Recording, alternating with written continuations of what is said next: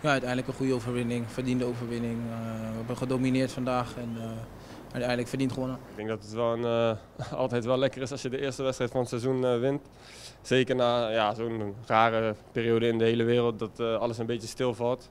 En dan is het wel lekker dat je na volgens mij zes maanden de eerste officiële wedstrijd gewoon kunt winnen. Zat er druk op voor je gevoel? Ja, tuurlijk. Ik denk ook, iedere wedstrijd als PSV zijn, dan moet je winnen. En ja, daar, zit, daar, komt er wel druk bij kijken. Ik denk na zes maanden weer uh, een uh, officiële wedstrijd spelen is natuurlijk wel zwaar. Voelde je, dat voelde je ook aan jezelf. Um, Groningen zakte goed in. Um, heel de ruimte is klein en uiteindelijk denk ik dat we sowieso wel de wedstrijd iets eerder hadden konden bes kunnen beslissen. Maar goed, ja, verdiend gewoon uiteindelijk. Hey, en dan onvermijdelijk jouw goals. wat is je target eigenlijk dit seizoen?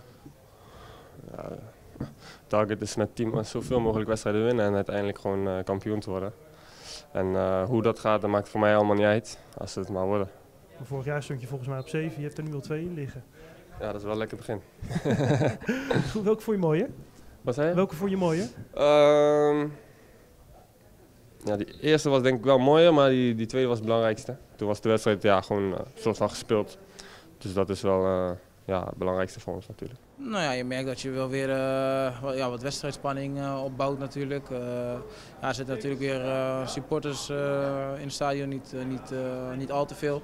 Maar goed, je weet dat het er weer om gaat en ja, dat voel je aan alles. Na een lange voorbereiding dan, is iedereen wel gebaat bij wat vastigheid, ja, wat ideeën hoe het eruit kan kunnen zien. En ja, vandaag zag het er bij vlagen goed uit. Gaat muziek op in de bus? Net al even gezongen. 100%. Wat gaat erop? Eh, Pablo of Denzel als DJ, dus eh, ik weet niet precies. Gefeliciteerd. Dankjewel.